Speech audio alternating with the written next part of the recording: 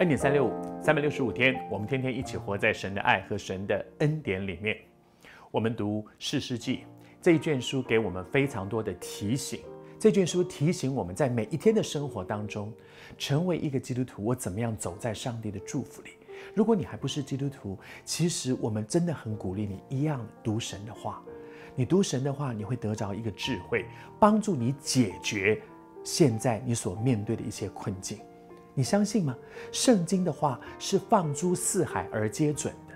圣经的话不是对基督徒这套有用，对不是基督徒的人这套就没有用。如果这样，神的话不是真理，真理是古今中外放诸四海而皆准，这才是真理。放置于放到任何一个地方，放在任何一个时代，圣经的话都是合用的。你也一样，不论你是不是基督徒，但愿神的话给你一个最真实的提醒，在神的恩典里。在这段时间，我们说以色列人渐渐的离神越来越远，是从一个偏，在当时的时代里面，他们有一个偏的开始，是从婚姻开始的，而今天。也许在你我的生命当中，神也在提醒我们：我什么事情是最容易让我离神越来越远？是我的兴趣吗？是我的嗜好吗？是我对一些事情的渴望？是我的一些欲望吗？是我的一些梦吗？求主光照提醒我，让主在这一切的事上坐着为王。神不是说成为一个基督徒就要什么想法都没有，什么欲望都，不是，而是你让神带领你去。逐梦踏实，上帝对你的一个人生有一个美好的梦，你走在他里面，你会发现他为你计划的比你想的周延多了，仔细多了，他给你的是超过你所求所想的。但是把这些放在上帝的手中，上帝祝福你，而在。以色列人他们离神的祝福越来越远的时候，有一句话是在这六次四世纪里面循环的开头，总是这样说：以色列人行耶和华眼中看为恶的事，以色列人又行耶和华眼中看为，以色列人又行又行又行，每一次都是这样。那么什么是耶和华眼中看为恶的事呢？在四世纪里面说，他们忘记耶和华，这件事情是一个最大的关键。你知道，忘记神是一个最大的关键。什么叫忘记神？就是我我不是不知道有神，他们是啊，他们世世代代都享受上帝祝福，他们怎么会不知道有神？但是他们心中做了一个决定：我做事情的时候，把神放到旁边去。我决定我的婚姻，我决定我的事业，我决定我要不要搬家，我决定我要不要买这个房子，我决定，我决定，我决定要不要到国外去念书，我决定要不要辞职，我决定要不要离婚，通通都是我决定。但是决定完了以后，说上帝啊，你要祝福我，我们会不会落到这样的光景里呢？我决定，但是上帝你替我背书。可是神从来不是这样。我求神帮助我们在这样的事上，当我们忘记神的时候，我父亲在世的时候常常说一句话：说一个人呢，如果心中无神，目中就无人。如果我的心中不敬畏这位神，我的眼中就没有人，目中无人，只有自己。我决定我要这样，我要那样。今天我们落在这样的光景里吗？我们一起回。转归向神。